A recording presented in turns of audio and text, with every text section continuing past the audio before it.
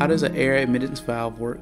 Air admittance valves allow air to enter a plumbing draining system when negative pressure develops into a piping system. When pressure in the system is equalized, indicating that no water is flowing, gravity closes the vent terminal, preventing sewer gases from escaping into a building. Check out our website, pexuniverse.com, for all available options. And remember, all orders over $99 come with free shipping. And if you need your order today, use our same day pickup option for our Brooklyn location.